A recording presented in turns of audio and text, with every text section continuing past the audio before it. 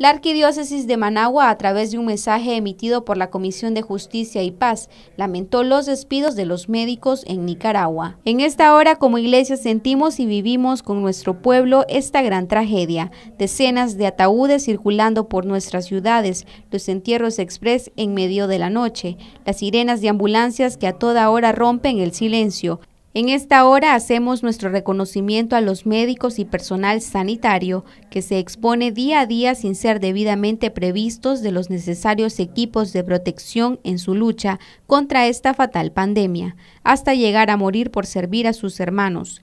En todas partes del mundo son aplaudidos por su sacrificio y entrega, mientras que en nuestro país, tristemente por el hecho de informar la verdad y solicitar la protección necesaria, son despedidos y despojados de sus derechos.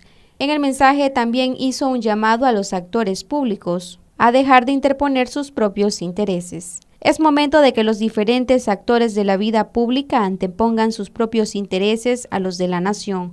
Hoy necesitamos hombres y mujeres que procuren el bien común, que liberados de todo egoísmo sientan el dolor de la gente y les acompañemos. Finaliza el mensaje. Para Noticias 12, Gabriela Solórzano.